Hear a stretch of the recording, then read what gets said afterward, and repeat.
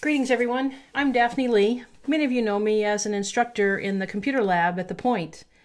Today, we're going to explore the Apple iPad as well as the Android tablet and an app that you can use on either, as well as your smartphone, called Overdrive, and another app called Libby, where you can check out a public library book, assuming you have a library card, and read that digital book on your iPad or your Android tablet or even your smartphone. So, again, I'm Daphne. Come with me as we explore Overdrive and Libby. And here we are. And what you're seeing is the Apple iPad. And we want to download the app first. Okay, so as many of you know, we're going to tap on the Apple Store apps, the App Store apps. If we were looking at a an Android product, we would go to the Google Play Store. Right? We're looking for search, and search is in the lower right hand corner. This magnifying glass will become what you know as your search tool. It's universally recognized as search. So all I have to do is tap it. And I need my keyboard, so I'm going to tap in the search window. And I'm going to strike the keys spelling overdrive. And there we have it. So I'm going to tap overdrive. And here we have it. Now, since I already have it, mine says open. Your Apple App Store view here should say get. And it may prompt you for your Apple ID and password. So just a point, a reminder, always know your Apple ID and Apple password. And for those of you driving an Android, the same goes for you. You'll want to know your Google ID, which is an email address ending in gmail.com, and the password that goes with that email address. Okay?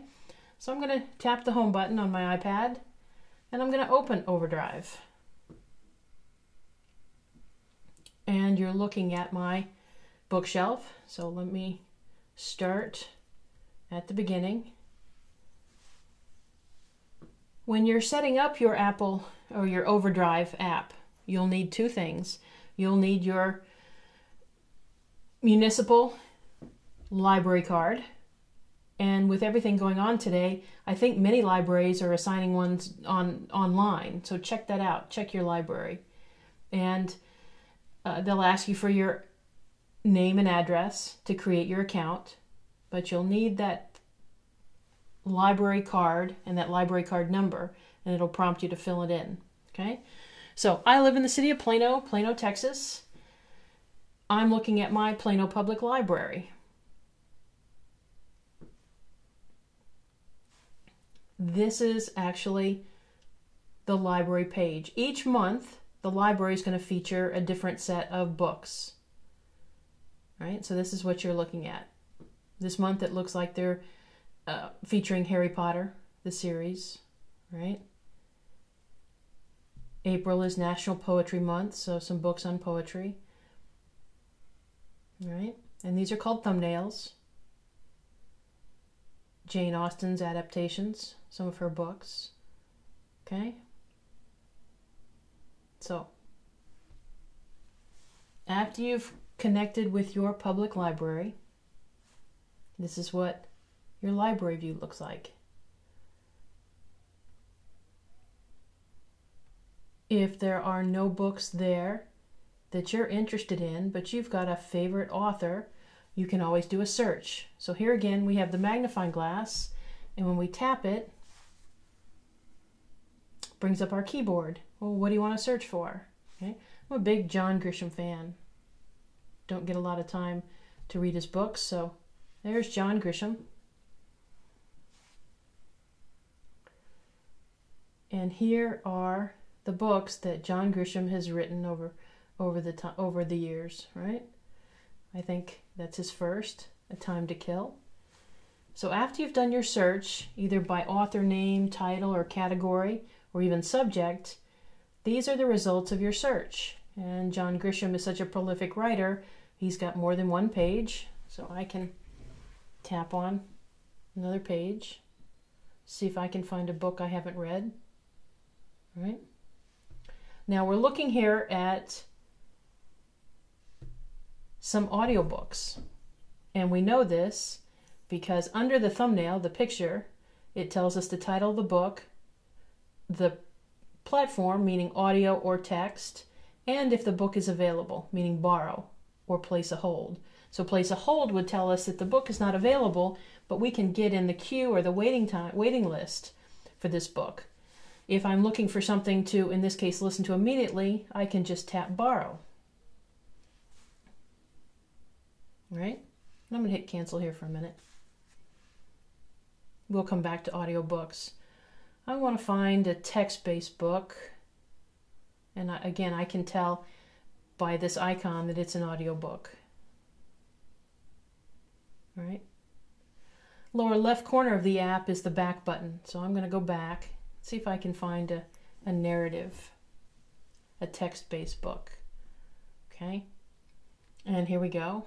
Here's one. Theodore Boone, The Abduction. Right, that's the thumbnail of the book and the title.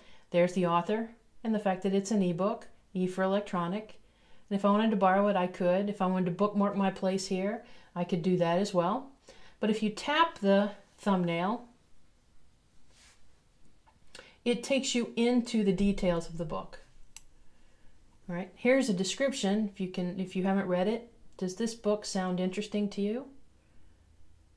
Okay, just tap that and I will get more to read. All right. Details. The publishing date, ISBN number, and size. So this is 6000 KB, short for kilobytes. Not so much, you don't have to worry about that so much. Size. Hard to equate it to pages, and we'll talk about that for a minute. Well, if you haven't read any of or his books or you want to know more about the abduction, read a sample. Okay. Notice that the app is taking us out of Overdrive and we're into Safari, and that's Apple's browser. So I'm on the internet. Translation If you want to read a sample of the book, you will need an internet connection. And I can read some of his books. Notice how I'm making the app move, and again, the app here is Safari, Apple's internet browser. A light tap or touch of the screen and a swipe, as they call it. So I'm swiping right to left, advances me forward.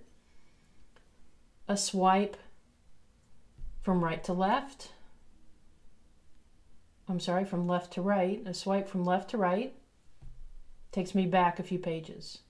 So I'm reading a sample of John Grisham's book, I'm advancing from tapping and touching from right to left. And then I can go backwards by starting my swipe on the left hand side, lightly continuing to touch the screen of my device, backward, forward. All right. I've read enough of the sample to know that I would like to check this book out, so I'm going to hit the home button so I can return to the app called Overdrive. And I'll tap borrow.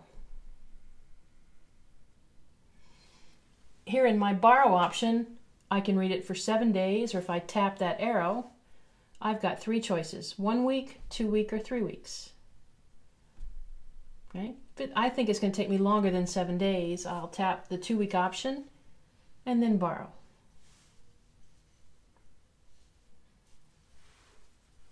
And then I can select download.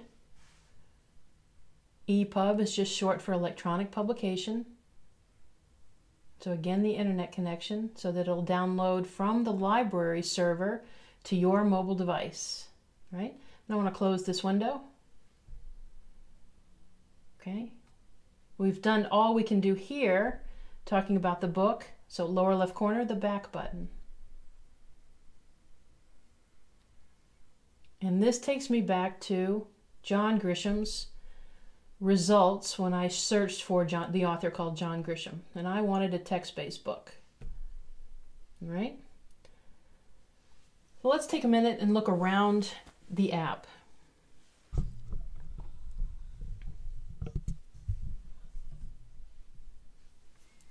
Upper left-hand corner.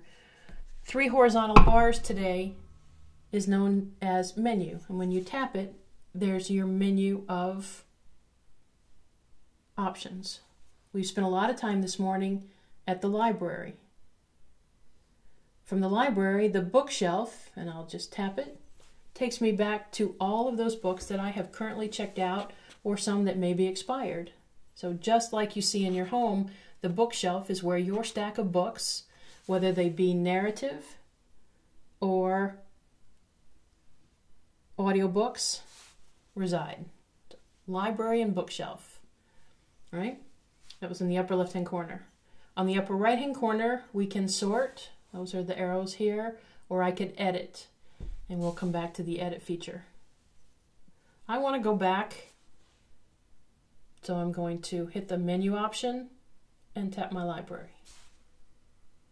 Okay, so library with its featured books, my search options, my account.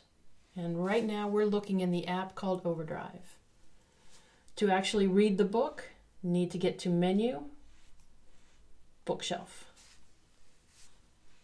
A single tap on my most recent book, and here is John Grisham's Theodore Boone, The Abduction. And again, to advance into the book, a swipe from right to left. I'm lightly touching the screen.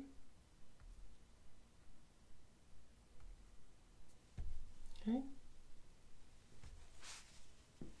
I would normally ask for questions or if I could repeat anything, but I will continue. Okay, I'm inside my book, as you can see, chapter one of John Grisham's book. In looking around the app, upper right hand corner is a bookmark.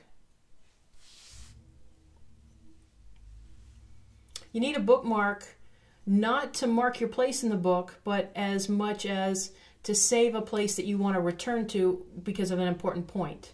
When you close Overdrive and reopen it, it will automatically return to the page that you left off. Right? To configure or, or customize your view, I'm going to tap in the middle of the screen, and if you'll look at the bottom, I actually get controls after I've tapped. So display, brightness, tap that, and this is where you, the overdrive driver, get to select how bright your screen is, and that's the default there on the left, which is basic white. The middle icon represents what they call sepia, so it adds a, a cream background. And finally, reverse or inverted settings, black background, white text. Right? You want to think about your display if it's late at night. You don't want the blue screen effect to cause you to lose sleep. All right? So I'm going to return to my default screen of the bright white. Well, from there, you, the overdrive driver, get to select font style and font size. These two buttons dictate size, and I can make my font smaller or larger with a single tap. And then I can pick my font. Is there a font that you like? right? And then to tap out, I get to see the size and the style that I've selected. And you can change these frequently. You're not married to any of them. And finally, settings. And settings simply mean, do I want any columns in my reading? Much like you were holding a book. Again, this is a personal choice. Text alignment, left lined or centered. Okay, so I've got two columns here. I'm to go back to one. That's my preference. Margins. Okay.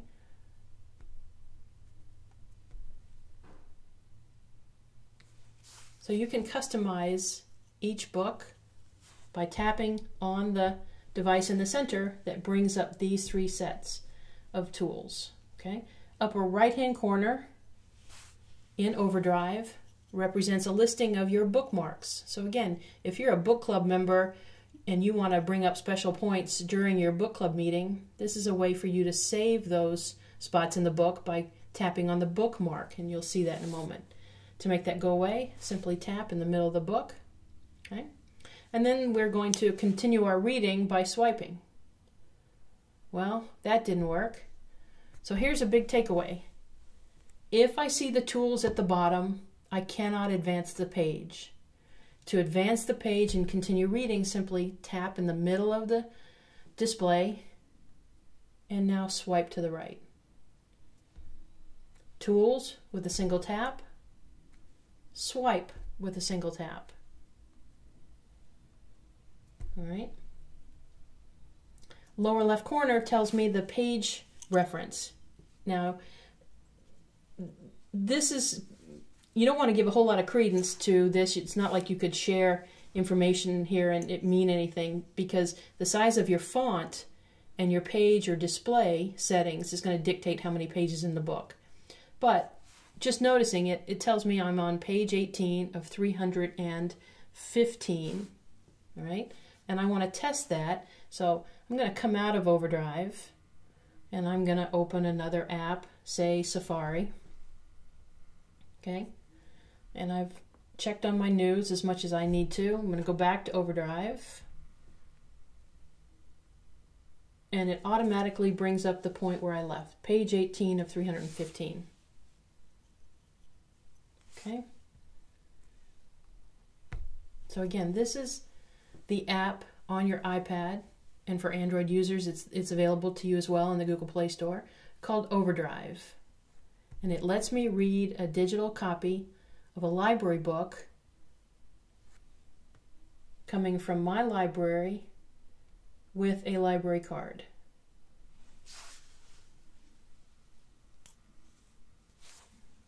And as you can see, I'm connected to the Plano Public Library. Right, so library, bookshelf. Okay, so these are the books that I'm reading. Upper right hand corner tells me if they're a narrative or a text base or an audiobook. right? so let's look at an audiobook for a moment. You acquire it the very same way. The user interface is a little different and it provides audio instead of narrative. Here I've got a slider at the bottom that tells me my progress. Right? You can't hear it. I've got my iPad muted, but you can see that it's progressing because that's the universal pause symbol. So to stop it, simply tap it. If I missed a point, I can go back 15 seconds or if I have heard this, I can go forward. Okay. If I want to go all the way to the end of a chapter, tap the end icon. And if I want to continue to play, just hit the play icon. And it tells me that I'm in part one of nine in chapter two. And if I keep listening at this pace, it'll take 15 minutes. I use this feature a lot. As an example, if I have not read the book for book club, I can use the audio download and get there pretty fast. I'm going to stop my audio, right? Notice very similar, upper right hand corner, bookmark it. So if I wanted to bookmark a part, I could. Okay. And then find it by tapping this icon in the upper right hand corner. That gives me a list of my bookmarks make that go away, simply tap it. I want to come out of this audiobook, go back to my bookshelf, and there are my books.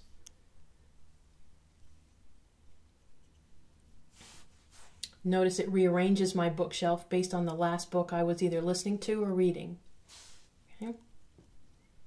If I'm finished with a book, I can press and hold and I will get a menu. Remember, your iPad and your Android tablets are touch devices.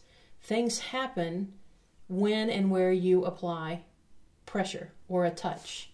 So if I wanted to return that to the library, I could tap return to library and it would give me a final answer. And I'll say return and it will remove it from my device.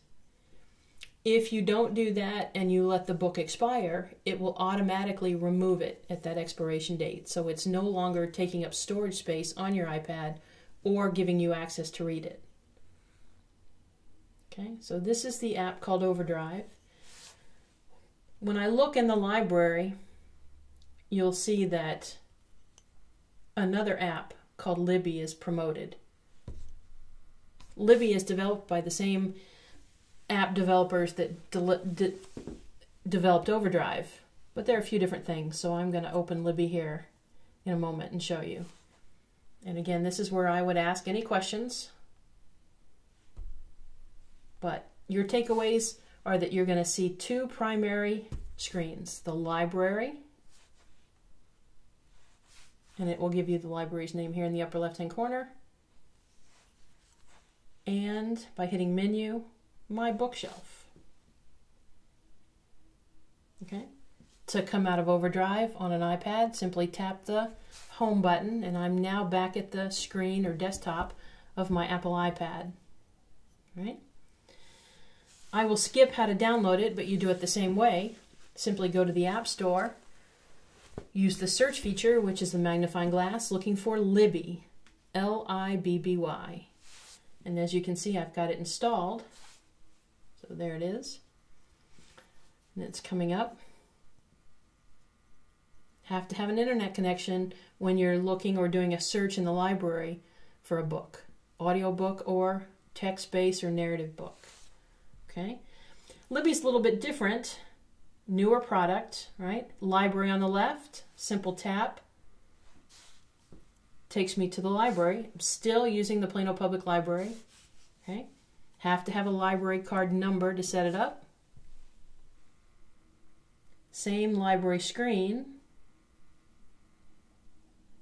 Okay, April is Poetry Month. All right. From that view, I can also navigate without having to go to the menu to shelf. So on Libby, I can actually access both the library and my bookshelf from different on the on the same screen. Okay, so here's the book that I'm reading now on Overdrive.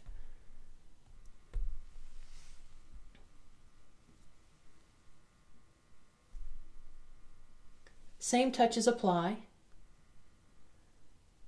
Lightly hold on the screen and swipe from right to left advances my text. Left from left to right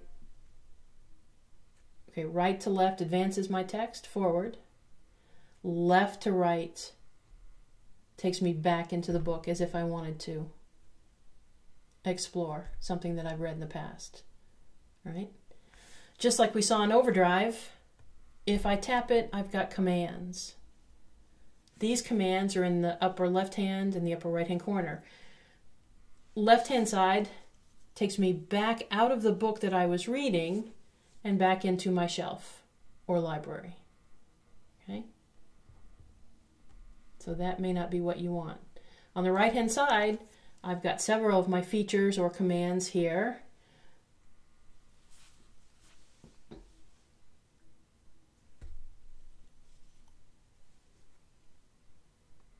Alignment. search, so I can search for a word or a name. Bookmark. Okay. At the bottom, I see a slider which tells me a progress through my reading. Page number, I'm on 30 of 402. Okay. Menu, Tap those three bars. And it's in here on Libby that you're going to find reading settings. And this is where, like we discussed with Overdrive, that you can customize the view of your text. So I've got a slider here that lets me manage my size. Here are my three options of the bright, the sepia, and the dark. And remember the dark was reverse, right?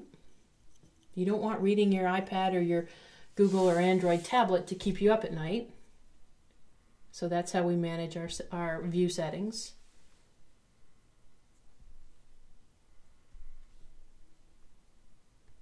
And some different view options. And I selected custom. And when you're done, tap done in the upper right hand corner. Takes you back to your text. And of course, there's the bookmark. If there's a point on here I want to remember, I can tap my bookmark and I can always come back to it. Okay. To me, the biggest difference between Libby and Overdrive is in Libby, I have a greater option of highlighting. So if you're a highlighter, you tap and hold and you can highlight. And you can pick your highlight color or you can write a note and then done. So if this were a text and you were going to have a real analytical discussion on the text or you wanted to take notes, Libby I think is the better of the two apps. So again, I'm going to tap it, tap to hold, make a selection, and once I let up off my selection, it gives me an option to highlight. And I will tell you, another takeaway here is it may require a few attempts, so don't stress if your page changes or you don't quite get it. Multiple tries, possibly, and you will have access to a highlight or a note, right? To find these, tap right in the middle.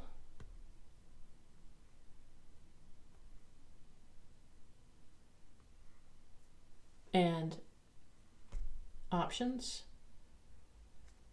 bookmarks, and here in Libby, you'll find not only your bookmarks, but your highlights and your notes.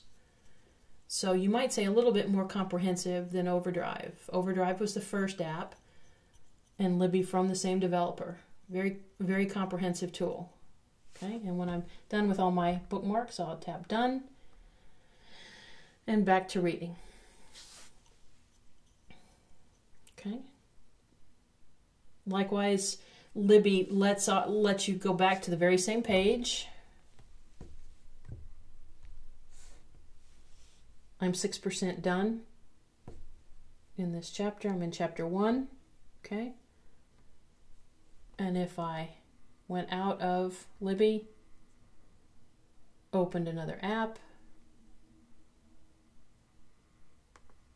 came back to Libby, I'm in the very same place. I can access the library with just a tap there or access my bookshelf with a tap that says shelf. Okay. Notice Libby tells me that these books are uh, uh, expiring soon. So if I finish them,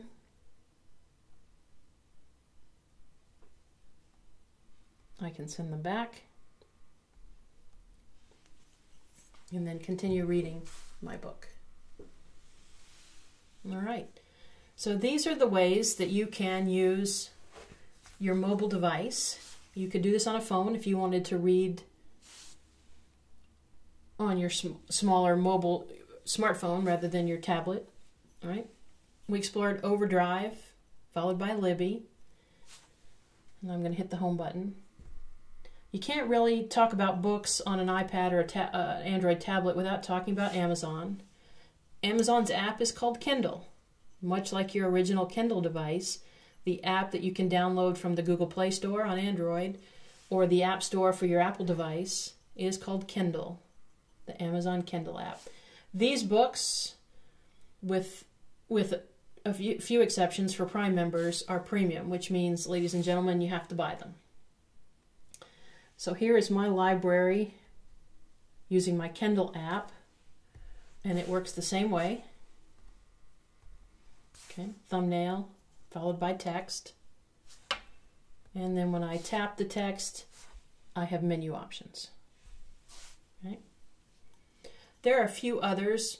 Another app that's premium, meaning you pay for it, and this one is a subscription service, is called Scribd. S C R I B as in Bravo, D as in Delta, Scribd. So that's a $9 a month uh, monthly subscription for those big readers.